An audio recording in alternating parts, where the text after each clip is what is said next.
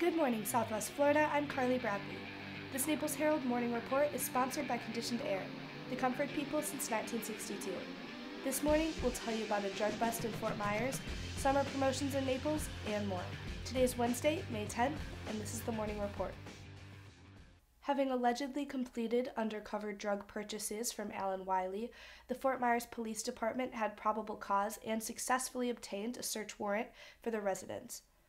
Upon execution of the warrant, FMPD officers discovered cocaine, cocaine base, MDMA, amphetamines, marijuana, heroin, and a gun. This is Wiley's 25th arrest in Lee County alone. His multiple arrests include drug possession and sales, carrying a concealed firearm, grand theft, petite theft, passing counterfeit bills, fraud, and a collection of probation violations. He is currently on probation until December of 2019. To read the full arrest report, visit leeherald.com.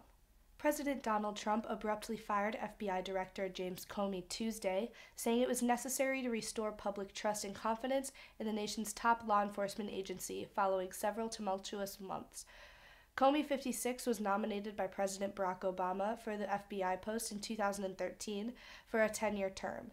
Praised for his independence and integrity, Comey has spent three decades in law enforcement and has been no stranger to controversy. The White House said the search for the new FBI director was beginning immediately. To read more about this decision, visit naplesherald.com. Florida based Paragon Theaters recently announced a number of new summer events for moviegoers to enjoy.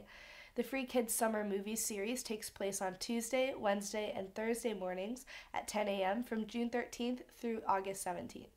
On Sunday, May 14th, treat mom to a cookie dough bites and receive a free small popcorn. On Saturday, May 20th, all service members will receive a free small popcorn.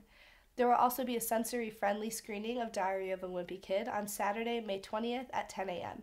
To read the full list of promotions, visit naplesherald.com. And that was the morning report for today. I'm Carly Bradley.